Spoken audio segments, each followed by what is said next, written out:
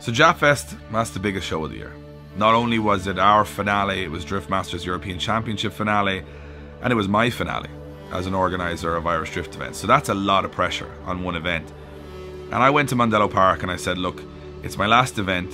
We haven't had a really good year, but I need one big gambler from you guys. And they were amazing. They said, look, put it to me what you want, and uh, we'll see if we can make it happen. So I said, I want to go back to the Global Warfare layout, the layout that made Irish drifting so famous, put us on the map.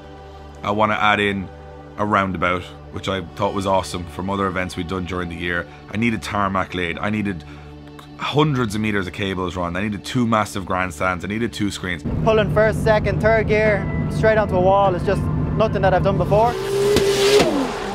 You'll always hear me talk about how different um, drifting, especially Irish drifting, is, is to every other motorsport. And I think that was really shown in what happened to one of the drivers that we had given a wild card to the event. So Niall Murray, he's won everything when it comes to professional motorsport, you know, single seaters, touring cars, that kind of stuff.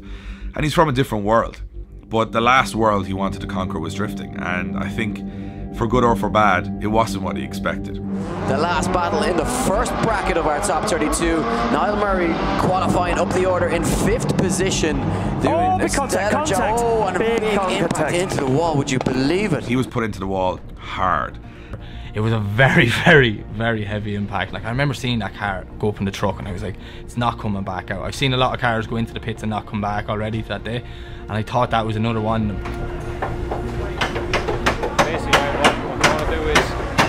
Your uh, your chassis is already bent, so instead of fucking trying to knock it in, your steering's going to be off. You're going to use the, the slightly bent wise fan and then track it the way it should try to be. Yeah. And you're already at 10-0 anyway. Yeah, I know, yeah. There we 24 spanner.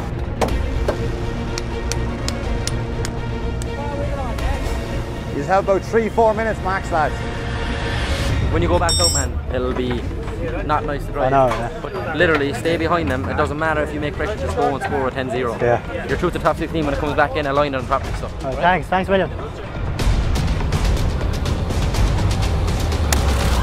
You may get Wayne to have a quick check in this because there's a few little dodgy things been done here, right? Oi, are you ready? Oi, are you ready to go?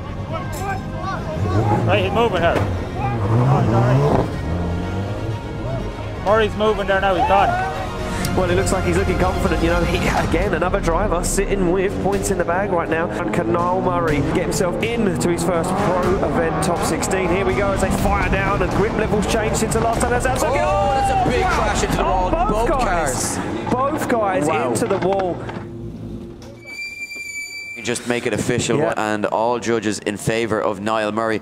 The fact that the entire drift community, again, even to an outsider, you know, someone that had only just come in, that they would get under his car, fix his car, and get him back onto the track when even he'd given up on it. I mean, he was running around the pits asking people who to pay, who, who, who did he owe money to, and people were laughing at him saying that's not how it works around here. And that sort of stuff makes me very proud to be a part of the Irish drift community. That they're so selfless to anybody, regardless of their background or where they're from. You know, it's insane. And the fact that they don't give up on it, it doesn't. I'm not even sure if it's sane sometimes. There's not even a reason. Sometimes just let it go, but they don't. And that's the amazing thing. That never say die attitude is so unique to Irish drifting, and I hope it's something we never lose. Yeah, it was tough. First, first lap in, in, in the wet. Um, obviously, I crashed the first corner, the first the first battle, so didn't know what the track was going to be like. Uh, but outside the car, just it just wasn't right. Um, look, thanks a million to everybody that helped. You know, at a race meeting, if you crash, it's nobody's really going to come and help you. They lend you a wishbone or something. That might be the, the, the most of it. They're certainly not going to be crawling underneath the car and doing everything that the lads were doing here. So Shanahan's crew came up and gave a big hand. This man here, I'm not sure of his name, he gave me a big hand as well, the welder and everything, and I'm sure we'll get it fixed and get back out. Guys, 30 seconds left. 30 seconds. Sam, get out.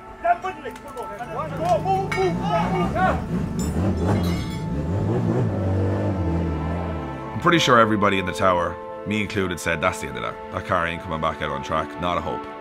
And Niall went back onto the track, and you know it wasn't the easiest weekend for him, but I think he learned a lot about the true spirit of the sport that weekend.